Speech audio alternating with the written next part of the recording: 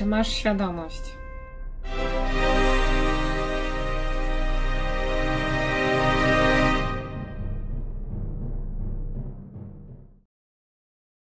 Możemy dowoli tupać nogami, ale pod względem prawnym sytuacja jest jasna. Od Niemiec żadnych reparacji czy odszkodowań nie można uzyskać na innej drodze niż dwustronne rokowania. Jeśli Niemcy oczywiście będą się poczuwały.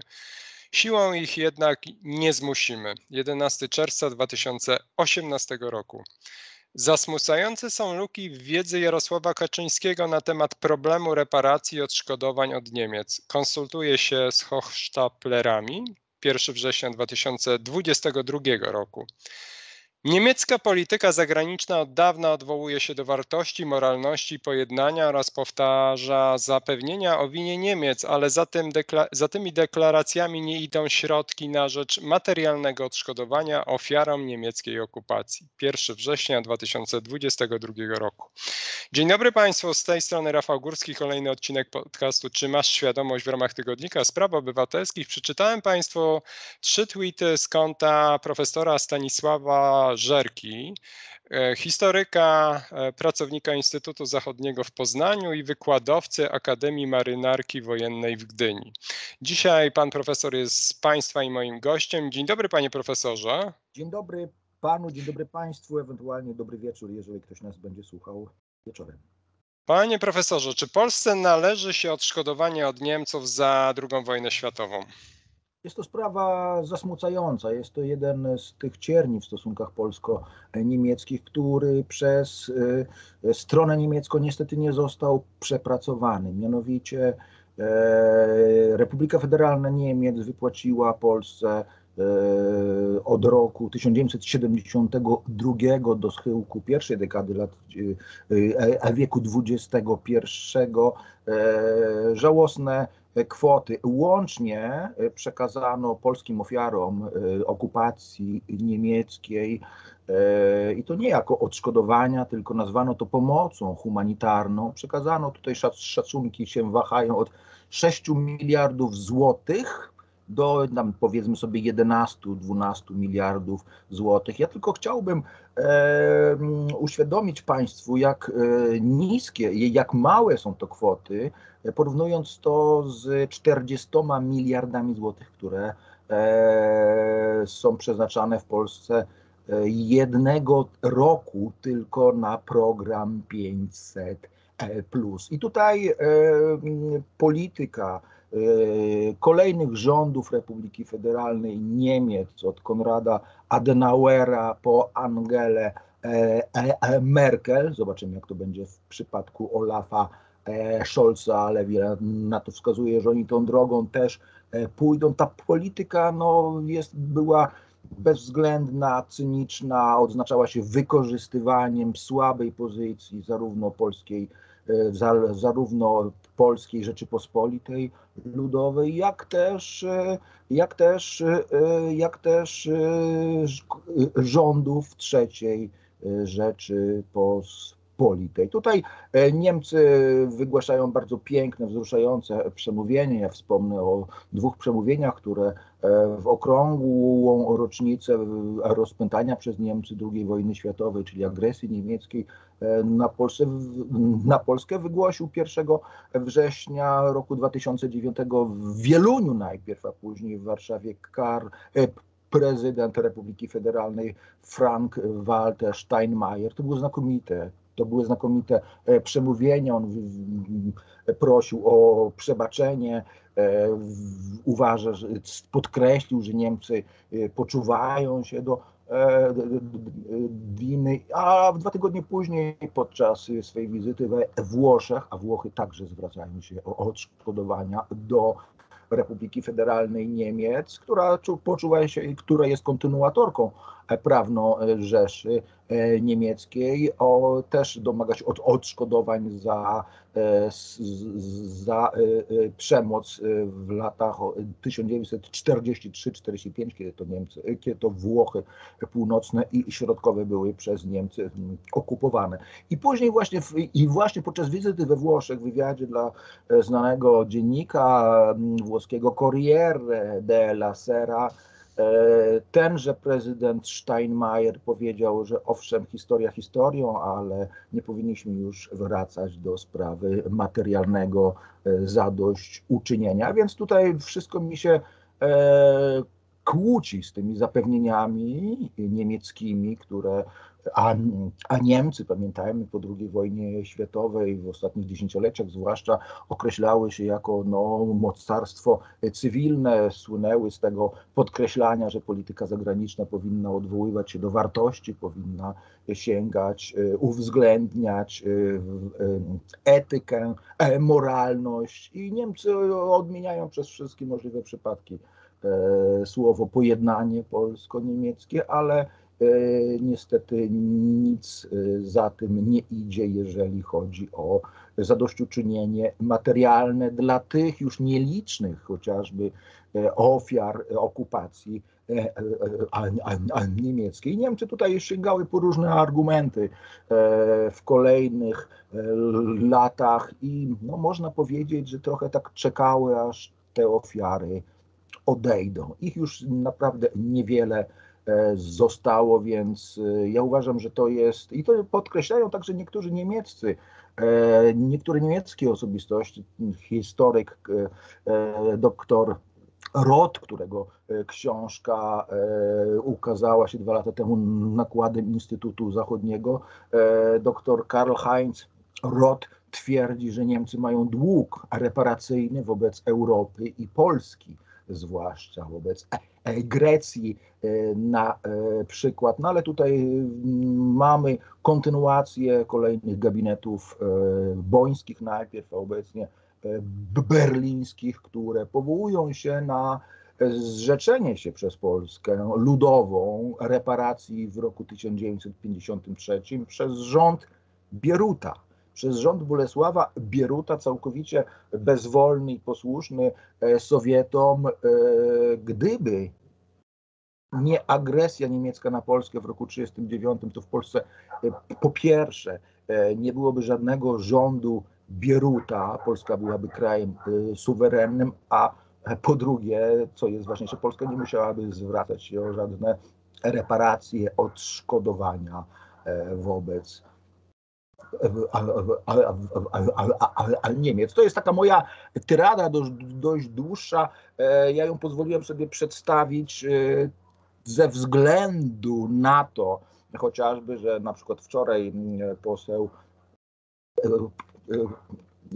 Mularczyk telewizji e, Polsat w rozmowie z redaktorem Arydmanowskim powiedział, że ja jestem tym przypadkiem, który e, no, jestem e, ekspertem, który uważa, że Polsce żadne odszkodowania od Niemiec się nie należą, co jest manipulacją i po prostu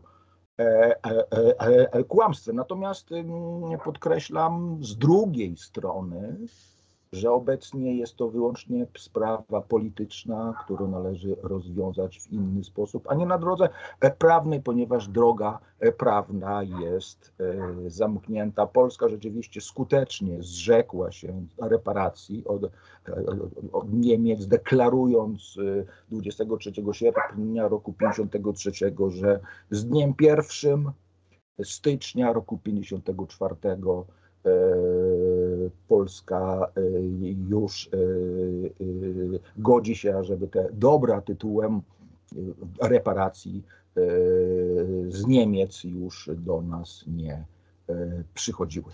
To zaraz do tego przejdziemy, natomiast jeszcze spytam, panie profesorze, a dlaczego Niemcy w taki sposób cyniczny i bezwzględny nas ogrywają? No to jest chyba po prostu pewna obłuda, hipokryzja za tymi pięknymi słowami o pojednaniu, o wartościach, o etyce, o, o moralności. Kryje się po prostu e, no, bezwzględna walka o interesy niemieckie, no, trawestując słynne słowa Romana Dymowskiego, jestem Niemcem i mam interesy niemieckie. Tak więc e, wykorzystywano najpierw e, słabości strony polskiej strony komunistycznej w okresie Polski ludowej, wykorzystywano chociażby to, że Władysław Gomułka no nie mógł przyznać, że rezygnacja przez Pol przez rząd Bieruta, mm, zrezygnowanie z reparacji od Niemiec było, było wymuszone przez Sowietów. Gomułka zresztą sam potwierdził, że Niemcy, że Polacy reparacji od Niemiec się zrzekli.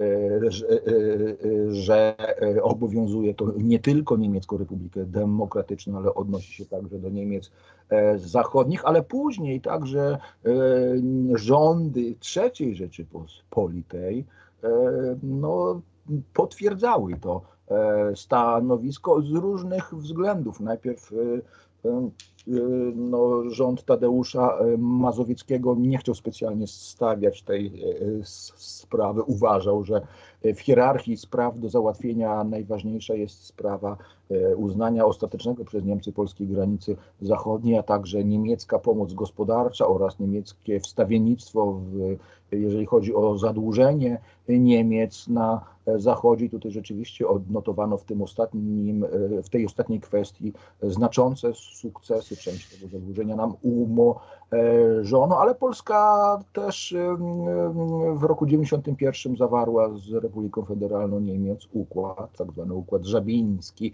Kastrup, to jest rząd Jana Krzysztofa e, Bieleckiego, rok 1991, w którym Polska e, jakby no, porzuciła e, zamiar występowania o odszkodowania dla obywateli Rzeczypospolitej poszkodowanych podczas okupacji niemieckiej. I my też nie mamy się właściwie do kogo zwrócić, do Trybunału Haskiego na pewno nie, ponieważ sami w roku 1996 rząd polski poczynił zastrzeżenie, że jeżeli chodzi o,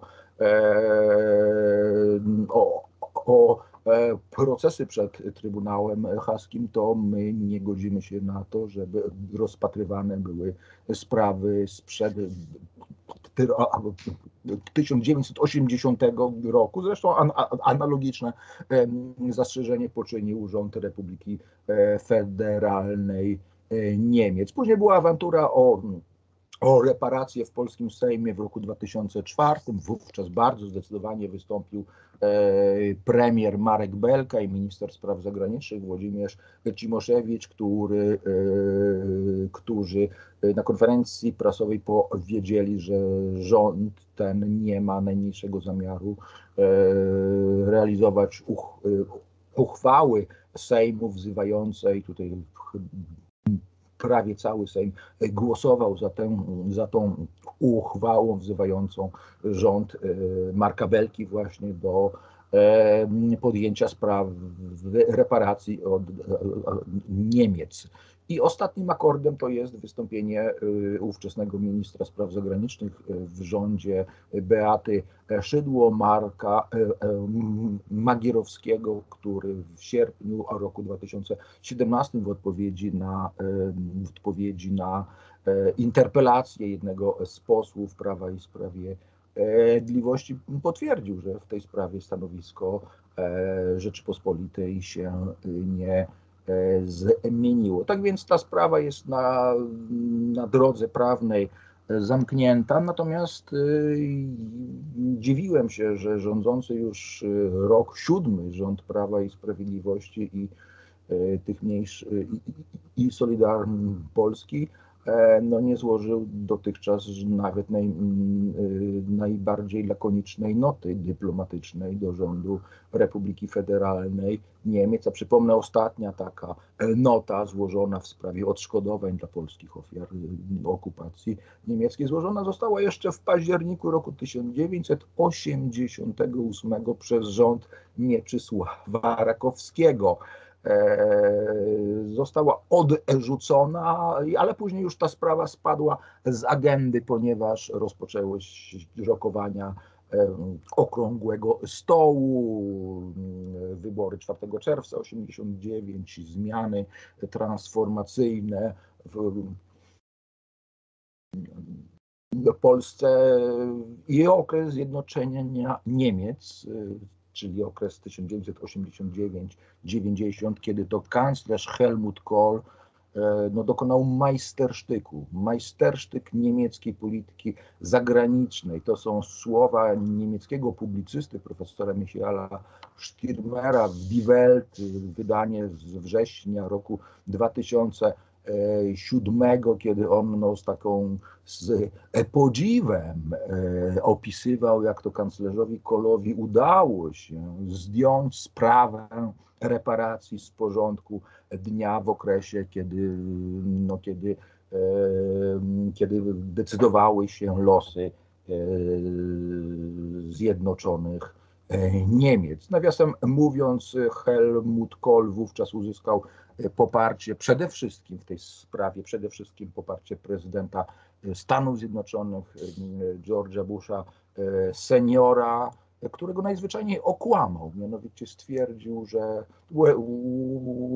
podczas wizyty Helmuta Kohla u George'a Busha seniora w Camp David w lutym roku 1990, kiedy to e, powiedział e, Kohl e, Bushowi, że Niemcy dotychczas wypłaciły 100 miliardów marek zachodnio-niemieckich, niemieckich, z których to 100 mili- e, z, których to 100 miliardów Polska otrzymała grosse Summen, ogromne sumy, wielkie sumy. Tymczasem Polska do roku 90, do tego czasu, kiedy to mówił to Helmut Kohl, Bushowi otrzymała zaledwie 100 milionów E, marek, były to płatności związane z pomocą humanitarną, bo nawet nie nazywali tego Niemcy odszkodowaniami dla, e, dla polskich ofiar e, pseudomedycznych eksperymentów w niemieckich obozach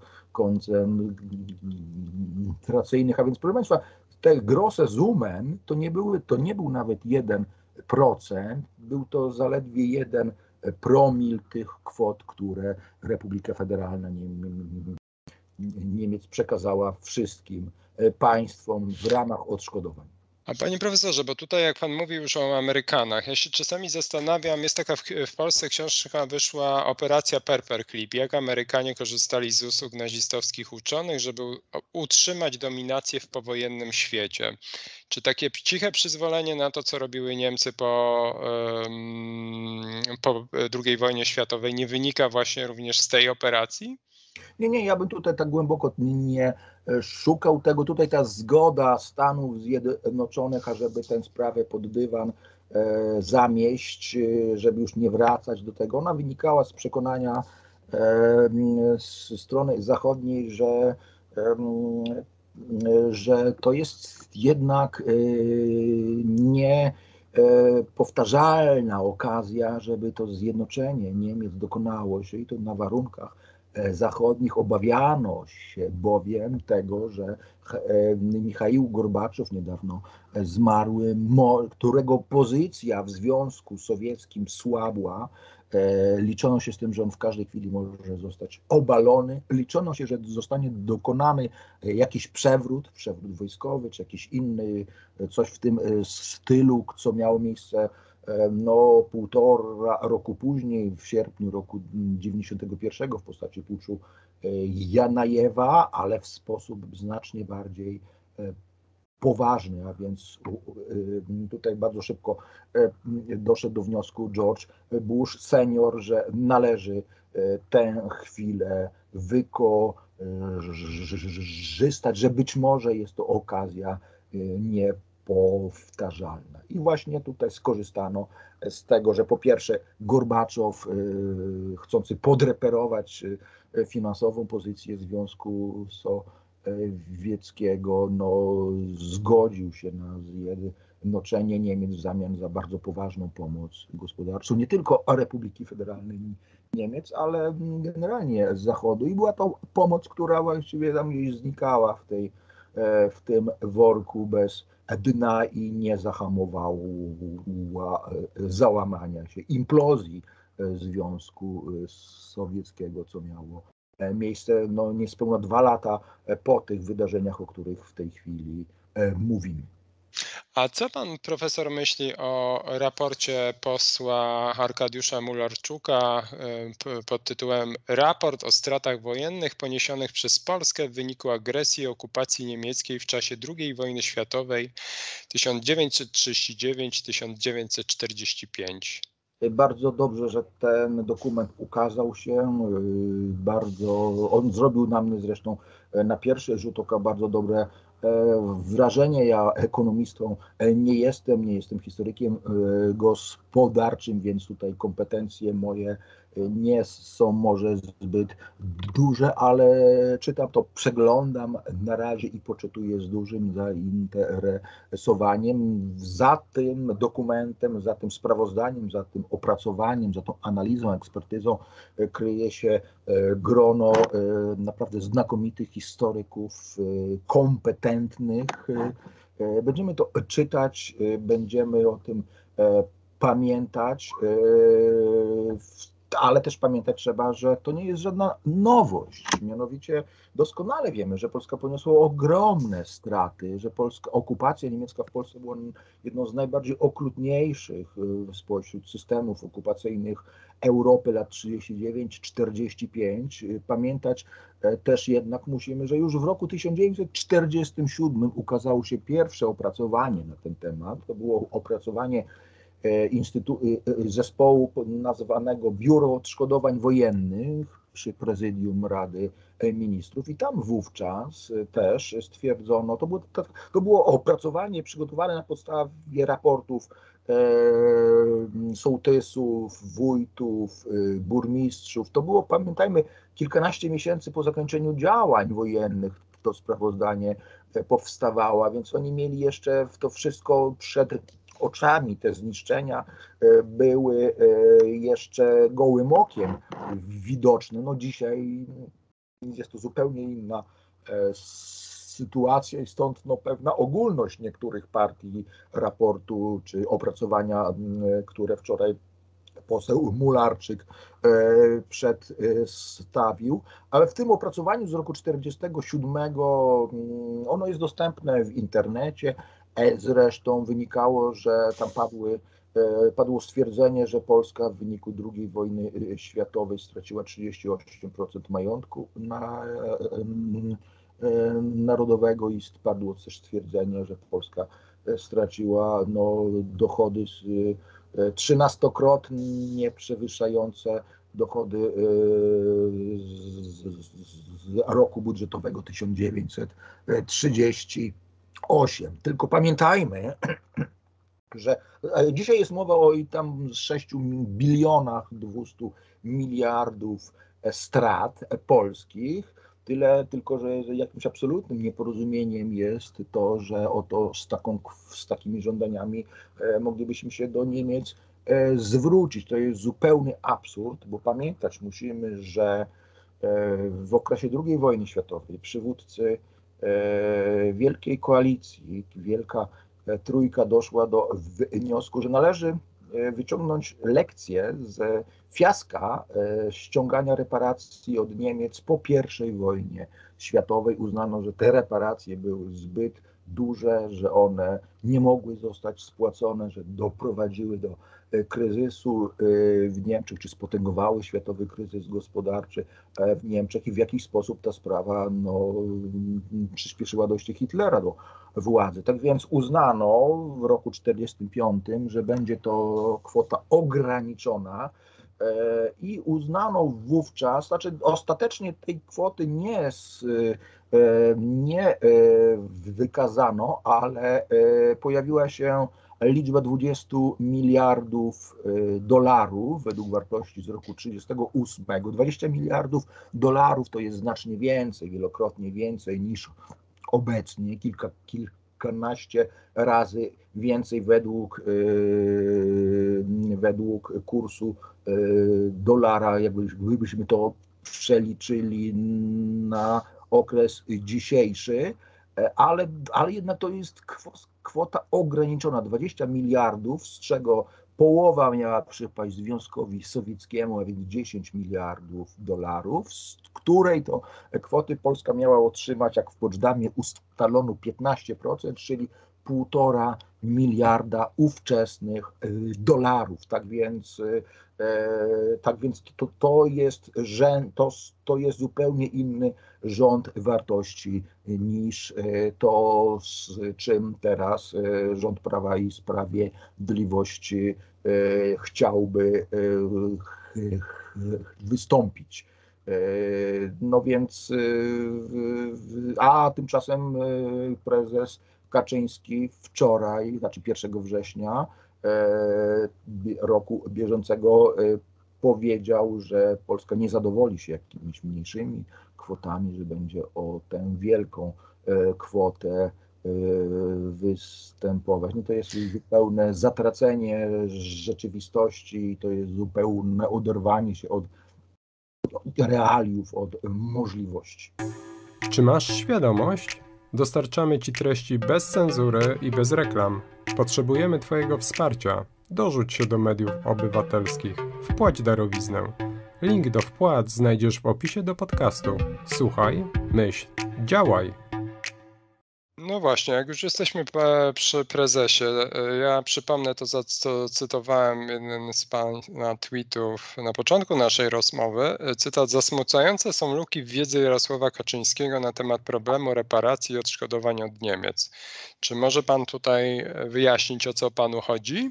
No na przykład y, ja nie wiem, kto doradza prezesowi Kaczyńskiemu, ale jeżeli on twierdzi na przykład, że Polska żadnych reparacji nie dostała, no to jest po prostu no, ignorancja. I to jest albo niedoczytanie, albo świadome wprowadzanie e, publiczności, polskiego społeczeństwa, polskiej opinii publicznej w błąd, a tymczasem no, można łatwo sprawdzić po prostu, że Polska w latach 45-53 do 31 e, grudnia roku 53 no, różne dobra z y, okupowanych y, Niemiec, a później już tylko z Niemieckiej Republiki Demokratycznej otrzymywała. Czasami były to e, no, pozycje, by, by, były to dobra w cudzysłowie wątpliwej e, wartości. Na przykład w roku 1949 Polska otrzymała w ramach e, reparacji 6 milionów czy 7 milionów dzieł wydrukowanych w niemieckich drukarniach w języku polskich, dzieł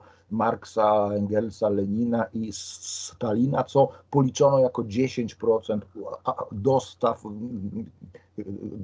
reparacyjnych za rok 1949. Ale jednocześnie Polska otrzymywała nie pieniądze, bo wtedy właśnie e, to nie miały być e, pieniądze, ale dobra w postaci statków, lokomotyw, taboru kolejowego, a więc wagonów, sprzętu, sprzętu, urządzeń, e, e, e, także materiały pędne, no to, to Polska otrzymywała i temu nie można zaprzeczać. Jednocześnie wprawdzie Polska została zmuszona przez Sowiety do przekazywania milionów ton węgla z polskich kopalń do ZSRR po tak zwanym kursie E, specjalnym, po cenach specjalnych, które były wielokrotnie e, niższe od e, cen światowych. Polska bowiem miała pecha, że reparacje te miała otrzymywać za pośrednictwem ZSRR. Ja tylko jeszcze tylko dodam, skąd się te ceny specjalne wzięły, mianowicie podczas rokowań rządu Edwarda o, przepraszam, osóbki Morawskiego z, w Moskwie w sierpniu roku 1945 strona sowiecka przedstawiła Polsce ekspertyzę, na, z której wynikało, że wartość polskich kresów wschodnich jest znacznie niższa niż wartość e, ziem, dawnych ziem Rzeszy Niemieckiej, które zostały w 1945 przez Polskę E, przejęte i w ten sposób no, Polska miała wyrównać właśnie no, prawem e, kaduka e, wartość tę, prawda. No więc to oczywiście to była umowa tajna, znaczy te ceny były utajnione, to wynosiło około tam, nie wiem, 1 dolar 44 centy czy 33 centy za tonę E, węgla. E, w niektórych przypadkach e, to wystarczało zaledwie na pokrycie kosztów wydobycia i przetransportowania tego węgla na granicę ze Związkiem sowieckim, a więc no to jest, e, no tak mówić nie można, trzeba sprawę, no to są takie skróty myślowe niedopuszczalne. Inne sprawy, na przykład prezes Kaczyński powiedział, że do roku 2010 Niemcy wypłacały e, reparacje Francji na przykład, no co jest nieporozumieniem zupełnym, tutaj nie chodziło o reparacje, ale o odsetki od tej, tej pomocy E, którą Niemcy weimarskie jeszcze w latach dwudziestych otrzymały z Zachodu, ze Stanów Zjednoczonych, z Francji, także na mocy, ja już nie chcę wchodzić w szczegóły, nie chcę wchodzić w szczegóły planu Dałesa z roku 24, czy planu Younga z roku 29. W innym wystąpieniu też prezes Kaczyński powiedział, że nawet Meksykowi Niemcy reparacje wypłaciły, co jest absurdem. No to jest zupełne nieporozumienie i nie wiem skąd prezes Kaczyński ten Meksyk znalazł. I tutaj jeszcze do tego dochodzi no właśnie to, to wytrwałe obstawanie przy tym, że to zrzeczenie się przez Polskę E, reparacji od Niemiec jest nieważne. Tutaj pojawiają się no, różne e, hipotezy, że tam podpisów brakuje, że oryginału nie ma. No oryginał jest w kancelarii prezesa Rady Ministrów, był e, publikowany lat temu kilkanaście w znakomitym zbiorze dokumentów wydanym przez e, Polski Instytut Spraw Międzynarodowych w, w, w Warszawie twierdzi się nawet, że w ogóle takiego e, posiedzenia rządu nie było, tych podpisów nie ma, że w ogóle no, no, no, e, no to jest e, niepoważne zupełnie, no takie trochę wgłupianie się. Twierdzi się na przykład, że Polska reparacji się zrzekła tylko wobec Niemieckiej Republiki demokratycznej, a wystarczy przeczytać ten dokument, żeby stwierdzić, że to jest e, nieprawda. Polska też e, twierdzi się też, że Polska no, nie miała stosunków dyplomatycznych z Republiką Federalną, więc nieważne to jest. Tymczasem polska strona wielokrotnie później przyznawała, że do, dotyczyło to E, także Republiki Federalnej Niemiec i dotyczyło to w ogóle Niemiec jako e, całości. No to na przykład powiedział Willemu Brantowi Władysław Gomułka w Warszawie 7 grudnia roku 1970. Więc no, trochę jest takie, to jest bardzo wszystko niepoważne i bardzo łatwe do podważenia przez stronę niemiecką, więc no, radziłbym, żeby jednak nie o E, śmieszać się i żeby wystąpić o e, bardziej realne e, sumna tutaj pojawiają się po stronie. No właśnie, panie profesorze, co leży w, w takim razie w, w, polskiej racji stanu dzisiaj? Co powinniśmy? No w ogóle powinniśmy jakąś wreszcie notę dy dyplomatyczną w Berlinie złożyć. No, Prawo i Sprawiedliwość rządzi już lat prawie 7, a w dalszym ciągu tej noty dyplomatycznej nie ma. A tymczasem ze strony niemieckiej dochodzą słuchy, że no, po prostu my, oni twierdzą, że my, my na razie słyszymy jakieś przemówienia od kilku lat E, właśnie to takie, takie podbijanie antyniemieckiego bębenka. Tymczasem nie ma żadnej, e, żadnego kroku oficjalnego z tego, co ja wiem. No, w Ministerstwie Spraw Zagranicznych urzędnicy wyższego szczebla no, nie palili się po prostu, będąc przekonanym, e, że, że jest to na drodze prawnej nie o osiągalne. Tymczasem uważam, że powinniśmy zejść z tego no, takiego adwokackiego prawda, zachowania, że, że, że tutaj wykorzystujemy różne e, no, nieprawdopodobne sytuacje, które nie są przekonujące, e, ale też e, wystąpi, wystąpić za argumentacją, która odwoływała się do tej właśnie, no, takiego, ja nie wiem, czy to jest dobre słowo w tej chwili, takie miękkie podbrzusze niemieckiej polityki zagranicznej, a więc to powoływanie się przez nich na moralność i etykę w polityce zagranicznej. I tutaj można by powiedzieć, że po prostu odwołujemy się, zwracamy uwagę na brak niemieckiej wrażliwości na polskie poczucie krzywdy, bo ta krzywda rzeczywiście jest. Ta krzywda to jest coś y, y, zupełnie, y, no, z którego w Niemczech Zachodnich no, tylko nieliczni zdają sobie e, sprawę, nieliczni jak właśnie Karl Heinz Roth, historyk a niemiecki, którego właśnie Instytut Zachodni książkę wydał, czy profesor Stefan Leinstedt z Berlina, który też uważa, że, że, że to, no to jest że to jest rzecz obciążająca dla strony niemieckiej i obciąża te właśnie te środowiska, które deklarują rzekomą wolę pojednania. Więc można by i tutaj akurat wczoraj dyrektor Niemieckiego Instytutu Spraw Polskich w Darmstadt, profesor Lew, profesor Peter Oliver Lew na przykład wystąpił z propozycją tutaj przy utworzenia przez Niemcy fundacji, nowej fundacji która byłaby no, wyposażona przez stronę niemiecką w środki finansowe, e, gdzie można byłoby w jakiś sposób tę sprawę załatwić. Mogły to być nie wiem, miliardy e, euro, ale na pewno nie e, biliony, które są no, z kwotą absolutnie nie do wyegzekwowania. Więc pewne oznaki gotowości niemieckiej do podjęcia tej sprawy E, dostrzegamy, ale, jedno, ale z drugiej strony mamy to takie walenie cepem w tej sprawie, którą uprawiają e, politycy e,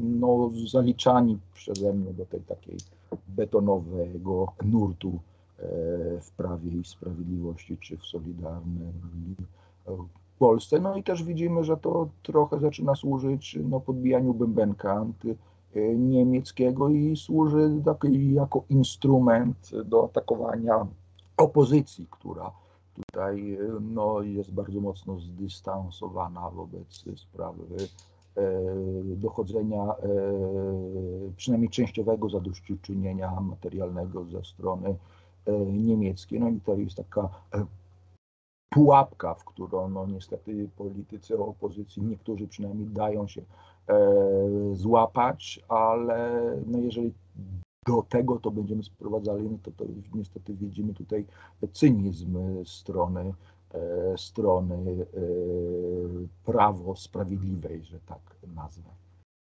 A zacytuję, zacytuję tutaj innego polityka Prawa i Sprawiedliwości, ministra Czanka. Od Rosji też moglibyśmy domagać się reparacji, bo przecież poziom krzywd i strat jest ogromny. Jak pan skomentuje te no, słowa? To jest zupełny absurd. Do tego też nawołują bardzo żartobliwi niektórzy politycy opozycji. Jest wiadome, że reparacje, czy wcześniej to się nazywało e, kontrybucją, kontrybucję dużą zapłaciła Francja po przegranej wojnie z Prusami w roku 1871 w wyniku traktatu e, pokojowego. Kontrybucje oraz reparacje wymusza się na tych państwach, które zostały podczas wojny pokonane. Jak wiadomo, ZSRR znalazł się w gronie zwycięzców II wojny światowej, no więc to jest już zupełnie zupełny absurd, a Niemcy w wyniku klęski w maju roku 1945 podpisały bezwarunkową kapitulację, a więc jakby wydały się na łaskę i, i, i niełaskę mocarstw zwycięskich w przypadku Rosji czy wcześniej ZSRR, no tak, takiego przypadku nie mamy. I tutaj ktoś z polityków czy ekspertów Prawa i Sprawiedliwości, bo o tym kiedyś na przykład mówił jeszcze ówczesny minister obrony narodowej Antoni Macierewicz, ktoś spuentował to tak, że jeżeli ktoś mówi teraz o reparacjach od Rosji, od Federacji Rosyjskiej, no ten w sumie sabotuje te, te, te starania o uzyskanie przynajmniej częściowego częściowe rekompensaty finansowej dla ofiar, dla Polski za okres okupacji 39-45. A i ostatnie pytanie, e, a czego e, e, Pana zdaniem powinniśmy się domagać jako obywatele od decydentów, polityków, od rządu w tej sprawie? No wie pan, to trudne pytanie. Ja mm, i też staram się teraz odpowiedzieć to w sposób taki, żeby nie urazić nikogo, ale myślę, że mm, powinniśmy się domagać większej jakości eksperckiej, prawda? Powinniśmy się domagać, aby politycy, którzy, yy, którzy tę sprawę poruszają, no, nie, nie ośmieszali nas na forum międzynarodowym, a przede wszystkim i to jest taka już zupełnie inna refleksja moja.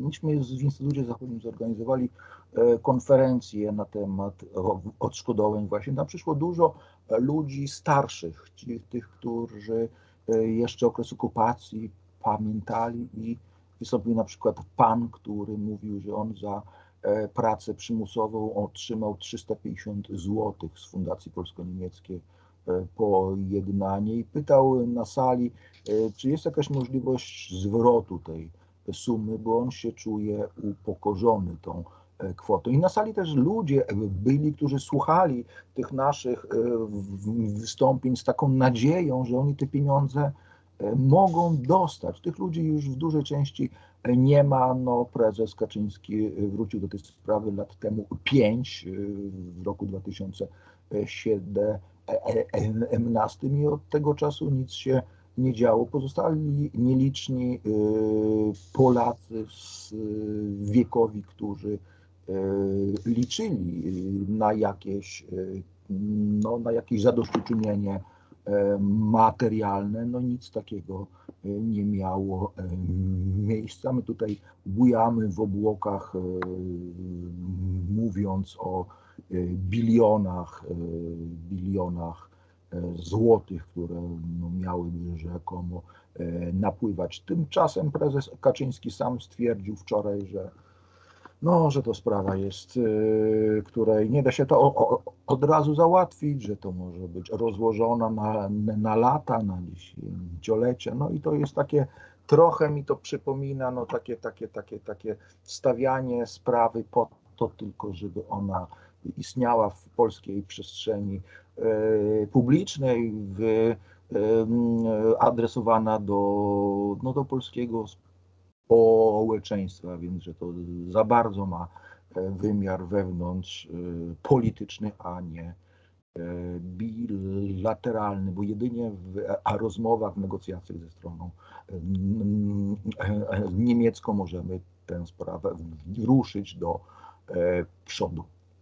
Ale rozumiem też, że to no, jakiś y, walor edukacyjny, uświadamiający Polakom sytuację, ta cała sytuacja z raportem ma. E, oczywiście i tutaj e, to jest y, wartość sama w sobie, ale też e, wartością jest przypomnienie e, Polakom, ale być może Niemcom także, w jaki sposób e, Niemcy grali tą słabością Polski Ludowej najpierw, a później trzeciej Rzeczypospolitej i że tutaj sięgano po różne sztuczki, kłamstwa. E, pierwszym ministrem spraw zagranicznych PRL, który był w Bonn po nawiązaniu stosunków dyplomatycznych, był Stefan Olszowski, skądinąd znana i nieciekawa dość e, postać, ale on jako minister spraw zagranicznych zachowywał się w Bonn bardzo przytomnie. Powiedział w pewnym e, momencie, że wy Niemcy staracie się e, wszystko to sprowadzić do spraw formalnych, biurokratycznych. On pisał w tym sprawozdaniu, że spotykał się z, na przykład z takim argumentem, że wcześniej Niemcy nie mogli wypłacać e, Polakom odszkodowań, bo nie było stosunków dyplomatycznych, a te stosunki zostały w roku 72, nawiasem mówiąc, dokładnie 50 lat temu wreszcie nawiązane, to strona polska została poinformowana, że już nie można składać wniosków, ponieważ e, termin upłynął 31 grudnia roku 1969. I Olszowski mówił w związku z tym, że e, z jednej strony mamy te formalizmy, ale z drugiej strony mamy ludzką krzywdę i to poczucie niesprawiedliwości polskich ofiar II wojny światowej, ale także poczucie niesprawiedliwości polskiej opinii publicznej. Z tym coś trzeba e, zrobić. Tak samo zresztą mówił Edward Gierek w Poznaniu w roku następnym, w 73. Polscy komuniści przywiązywali do tego duże e, znaczenie, mimo e, wszystko. I później Wojciech Jaruzelski, jeszcze jako ostatni prezydent PRL, bo PRL jeszcze istniała jesienią roku 89 zwrócił się w tej sprawie no, w bardzo emocjonalnym liście do prezydenta Republiki Federalnej Niemiec, Niemiec Zachodnich wówczas, Richarda von Weizsäckera, w którym to e, posłaniu apelował, ażeby spojrzeć na sprawę polskich krzywd w ludzki sposób. Dobrze, w tym miejscu postawmy kropkę. E, dzisiaj Państwa i moim gościem był profesor Stanisław Żerko, historyk, pracownik Instytutu Zachodniego w Poznaniu i wykładowca Akademii Marynarki Wojennej w Gdyni. Dziękuję za rozmowę, panie profesorze. Bardzo dziękuję. Moje uszanowanie. A z Państwem żegna się już Rafał Górski. E, zapraszam do odsłuchania kolejnej, kolejnego odcinku podcastu Czy masz świadomość w ramach tygodnika spraw obywatelskich już za tydzień. Do usłyszenia. Dziękujemy za uwagę i do usłyszenia w następnej audycji Czy masz świadomość. Wszystkich naszych podcastów możesz słuchać na portalu Instytut Spraw Obywatelskich.pl oraz na kanałach Instytutu Spraw Obywatelskich w serwisach YouTube i Spotify. Słuchaj, myśl, działaj.